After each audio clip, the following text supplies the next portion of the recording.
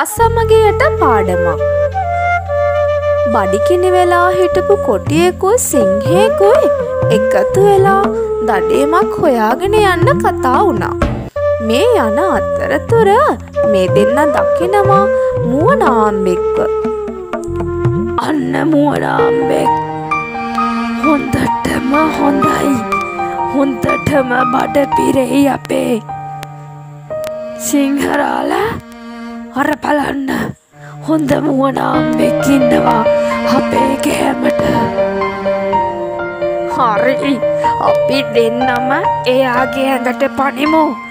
එයාව මරලා අපි අපේ බඩ පුරවගමු. හොඳටම බඩිකින්නේ හිටියේ. මෙහෙම කියපු සිංහයා කොටිරාලත් එක්ක එකඟ වෙලා මේ මුවනාම්මව මරන්න සැලසුම් කරා. දෙන්නම කතා වෙලා එකවරම මුවනාම්බගේ ඇඟට පැනපු නිසා මුවනාම්බව පහසුවෙන්ම දඩයම් කරගන්න පුළුවන් වුණා. අනේ දෙයනේ අනේ මව බේරගන්න ඔය අහිංසක මාව ඇයි මෙහෙම මරන්නේ අනේ මාව බේරගන්න කොටිරාල සිංහරාල මගේ මස් කන්න එපා. මට පුංචි දරුවෝ ඉන්නවා. අනේ මාව බේරන්න.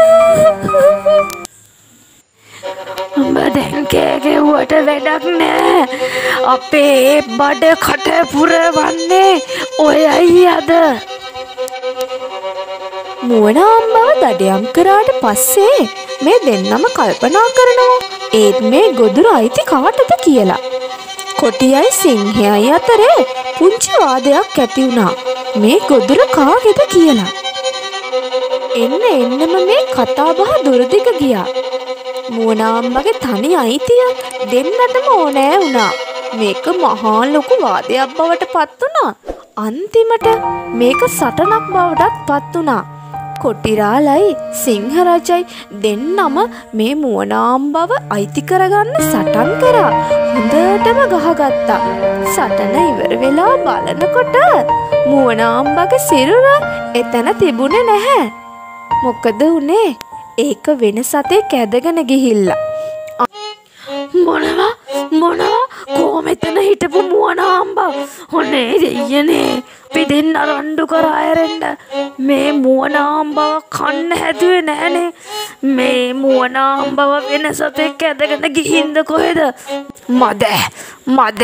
ඉතින් බට පුරවගන්න ඇදුව මේ මුවනාම්බගෙන් අපිට ඉතින් දැන් පඩිකින්නෙම තමයි ඉන්ඩ වෙන්නේ.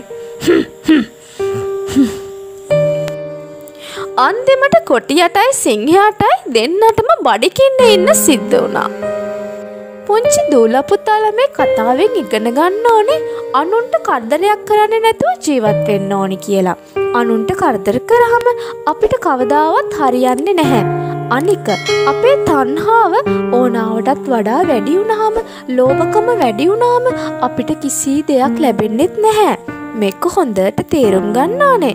මේක පුංචි ඔයාලට හොඳ පාඩමක්.